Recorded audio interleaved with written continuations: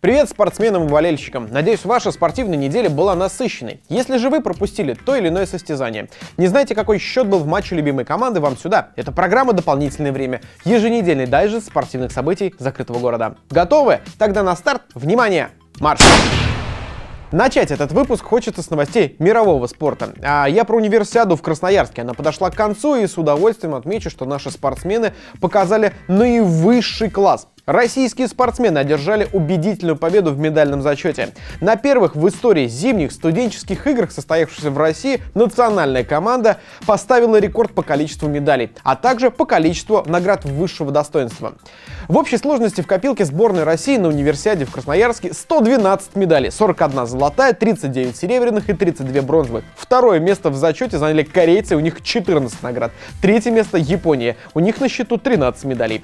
Российские спортсмены выиграли выиграли медали во всех видах программы универсиады. Наибольшее количество наград у сборной принесли лыжники и биатлонисты. Не менее успешные россияне были в сноуборде, завоевав 16 наград различного достоинства, а также фристайл, горные лыжи и шорт-трек.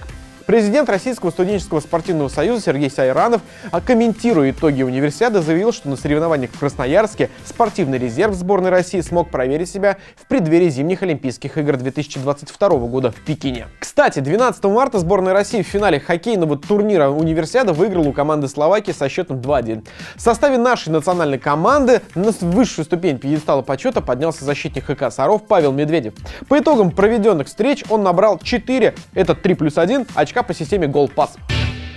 Воспитанники Дюш Шикар приняли участие во всероссийских соревнованиях «Чемпионы для России», которые состоялись в Пензе. Наши спортсмены продемонстрировали отличную подготовку в эстафете на 200 и 400 метров, соответственно, победительницей и серебряным призером стала Евгения Иришева. Николай Мордвин завоевал серебро в беге на 800 и 1000 метров, Никита Терентьев показал седьмой результат на дистанции 3000 метров. Валерия Борисова стала восьмой в беге на 800 метров. 7 марта в горнолыжном комплексе «Банная» прошли соревнования мастерс чемпионата России по горнолыжному спорту. На этих состязаниях Саров представляли четверо горнолыжников из Сарова в составе сборной Нижегородской области. Саровчанка Анна Воронова заняла первое место в своей возрастной группе в супергиганте и комбинации. 7 марта ей удалось повторить успех предыдущего соревновательного дня, снова придя первой в слалом-гиганте и слаломе. 10 марта 8 саровских шашистов выступили на областном турнире, посвященном памяти мастера спорта Владимира Барагана, детского тренера из Дзержинска. Среди школьников не старше 2002 года рождения Тимур Мусяев стал вторым, а Максим Костюков завоевал бронзу. Футбол, плавание, акробатика или художественная школа. Куда отдать ребенка, чтобы развивался, да еще и учиться успевал? Ответ прост – шашки. Этот интеллектуальный спорт, как говорят знающие люди, развивает логику и тем самым повышает успеваемость по школьным предметам. С областных соревнований среди школьников юные шашисты из Сарова вернулись с победой. Шашки только на первый взгляд кажутся очень простой игрой. Это игра э, простая внешне, но очень глубокая, и сложная и интересная по своему, по своему содержанию. Шашки учат думать и анализировать свои действия. Эти важные качества помогают не только за клетчатой доской, но и в жизни. Наглядный тому пример – педагог объединения Дворца детского творчества Олег Васенькин. В далеком 72 году он пришел в кружок тогда еще юным первоклассником. Приняв эстафету у своих педагогов, сегодня Олег Григорьевич воспитывает новых чемпионов. Вообще шашки называют это и наука, и искусство, и спорт. Спорт потому, что проводятся соревнования.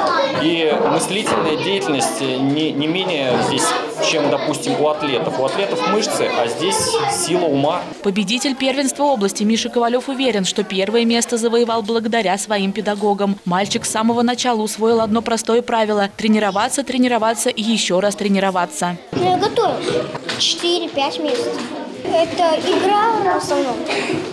Ну, узнавать что-нибудь новое. Таня Пешехонова стала чемпионкой области среди девочек. Несмотря на юный возраст, спортсменка уже знает секреты того, как обыграть соперника. Продумать каждый, каждый ход и надо смотреть все ловушки, которые тебе готовит соперник. Серебряным призером первенства стал Максим Костюков. Юный шашист, словно взрослый и опытный спортсмен. Ищет комбинации, продумывает ходы и надеется на следующих соревнованиях завоевать первое место. Я старался и торопился, ну, ходы и вот столько очков.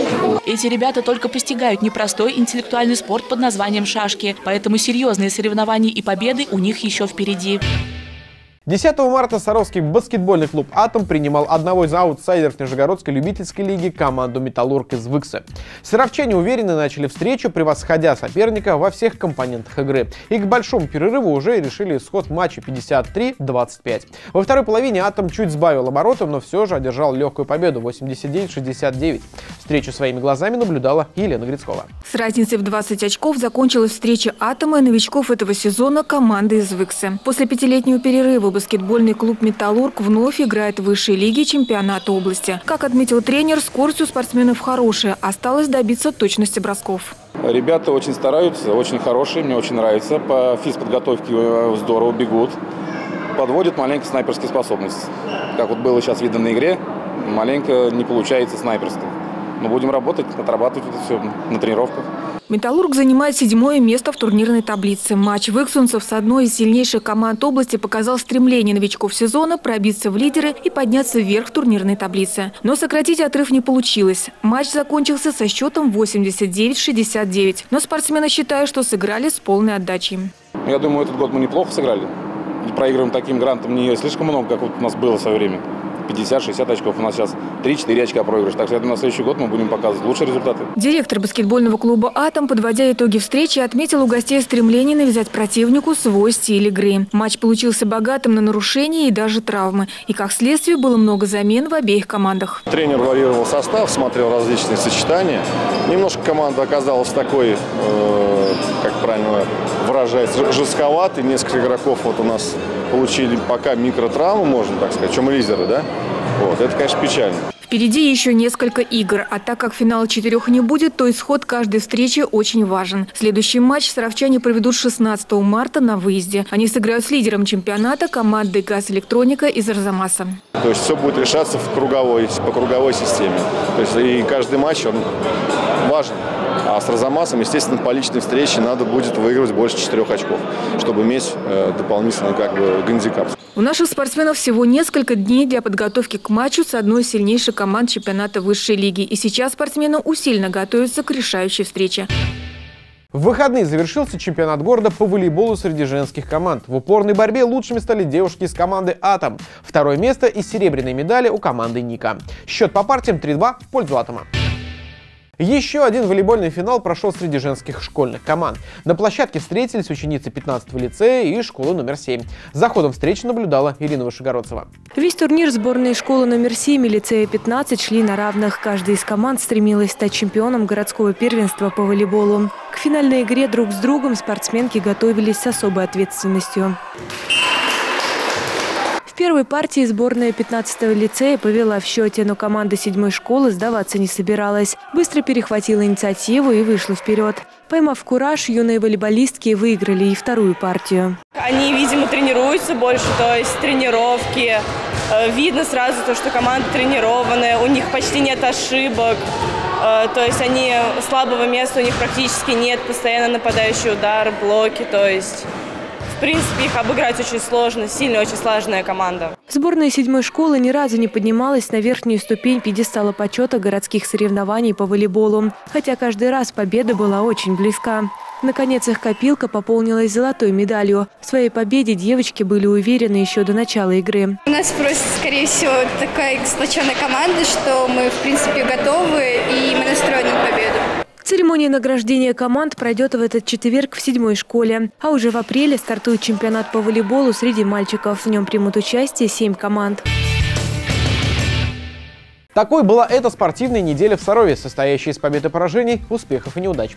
Хотите быть в курсе всех наших новостей, первым узнавать самую актуальную информацию или быть героем наших сюжетов и программ, подписывайтесь на наш канал в YouTube и присоединяйтесь к нам в социальных сетях ВКонтакте, Инстаграм, Фейсбук и Одноклассники. Всем побед! Пока!